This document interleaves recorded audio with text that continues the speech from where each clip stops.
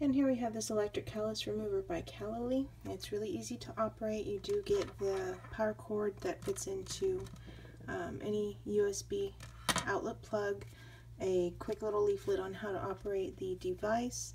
You do get two different um, grinding heads. One is a fine coarse, or one is coarse and one is fine. Um, in order to turn it on, just press that button there.